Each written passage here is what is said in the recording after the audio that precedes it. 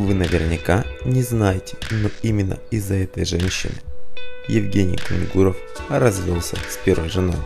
44-летняя певица и телеведущая заявила, что у Евгения Кунгурова была чистая душа. Елена Максимова заверила, что сегодня скорбит вместе со всей страной. Елена была одной из самых ярких участниц шоу «Голос». Она приняла участие во втором сезоне проекта Первого канала в 2013 году. Там певица познакомилась с Кунгуровым. Полуфиналист первого сезона тогда работал репортером, брал комментарии у участников. Во время четвертьфинала редакторы попросили взять интервью у одной из конкурсанток, которая в перерыве между съемками и задремала, зарывшись в гору шуб и пуховиков. Ей и оказалось. Елена Максимова, признавался Евгений.